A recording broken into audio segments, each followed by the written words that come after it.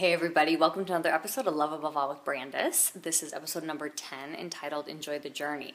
And remember, with every video, my intention and mission is to help you love yourself, know yourself, and share yourself with others in your authentic way for God's purpose, whatever it may be, whatever it is that you feel is planted um, in your heart.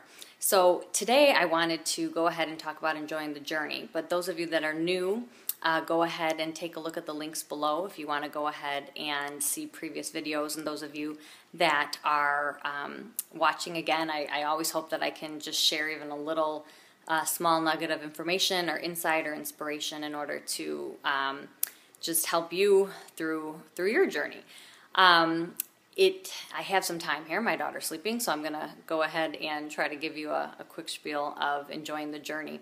I believe that there's two types of journeys that um, that we have. We have our real long journey from the time we're born until the time that we die, and then we have these short little mini journeys that happen um, throughout life. And those are journeys where um, maybe you see a vision or a goal, or you've had some type of transition, and you are in the waiting stages. So, how are you able to enjoy where it is that you are at right now? I have five um, ways and, and things that, that I do um, that I know that I need to do in order to stay centered and, and stay connected to God and, and in order to stay on God's side and not go to the other side while I am in any type of interim or waiting period. Now, right now, I'm a mom, and I it's such a blessing and such a joy to to be able to um, be with my daughter. I do have things in the future that um, and aspirations and things that I want to go ahead and do. So I'm always having to keep myself at a steady level pace. Um, really being appreciative for where I am, knowing that I'm also going to be going somewhere later on. So I want to share these five things with you, and uh, hopefully they can be of some help to you as well. So let's begin. I wrote them down just so I don't forget here. So the first one, and I don't mean to be morbid in any way, but this is something that wakes me up and, and helps me uh, focus if ever I'm not enjoying the journey or um, thinking that life is too hard. And that is simply that I remind myself that I'm going to die one day, that everything is so precious and that those around me could die one day. So I need to make sure that I'm cherishing all those in my life. I'm cherishing all the experiences and events that are able to take place in my life. Um, I remind myself of that often, so I am um, always grateful for, for everything that is around me. So that is number one. Go ahead and wake yourself up by reminding yourself that you will not be here one day. But don't sulk in it and get too upset. Just remind yourself of it very nicely. Number two is waking up every morning, um, realizing that every single day is a gift from God and that every single day is an adventure to wake up with that mentality, to be thankful for um, what God's going to give you that day. Instead of waking up and feeling negative and scared about maybe what life will face you that face or give to you that day, wake up just being expecting of, of greatness and good and, and adventure and a lot of um, things for you to participate in that are fun and to kind of look at the day um, through the eyes of a child, thinking that every day is an adventure. Number three would be to let love throw, flow through you um, with everything that you do that day, that week, that month, whatever it is, whatever that interim time is.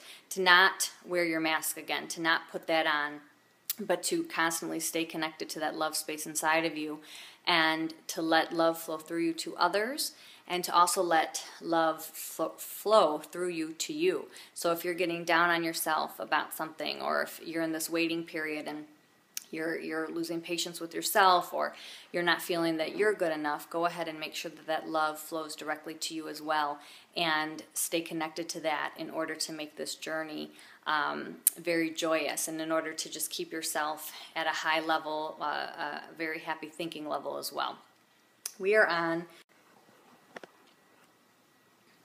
Okay, sorry, my camera just decided to um, stop. So we're going to go ahead and we're going to continue with number four.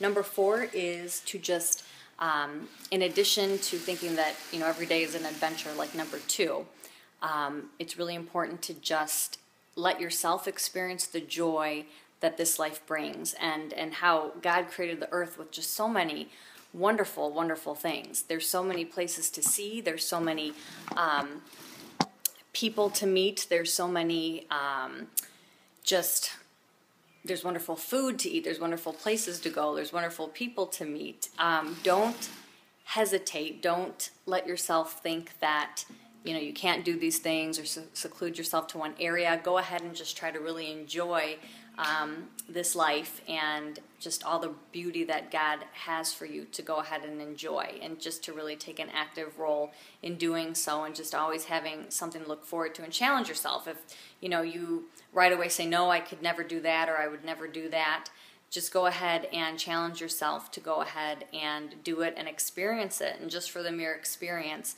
take part in, in all the joy that, that lies here for you on this earth. Because I believe that we are here um, to love and to serve, but to also just enjoy this magnificent, magnificent world that God has created.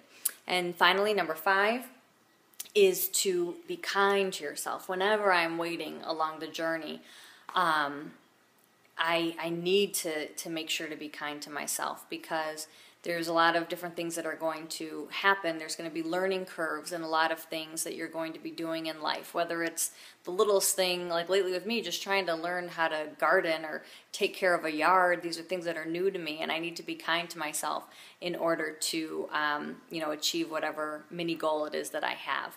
Um, if you're not being kind to yourself along the way, you're going to have a really hard time completing those tasks.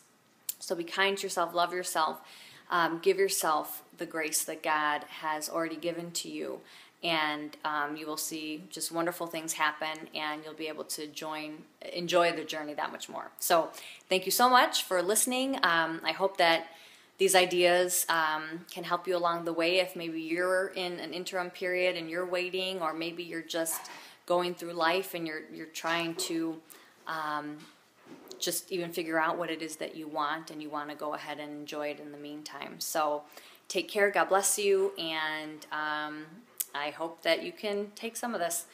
Have a wonderful, wonderful night. It is night by me. And sleep well. And God bless you. And I will see you in the next video. Bye bye.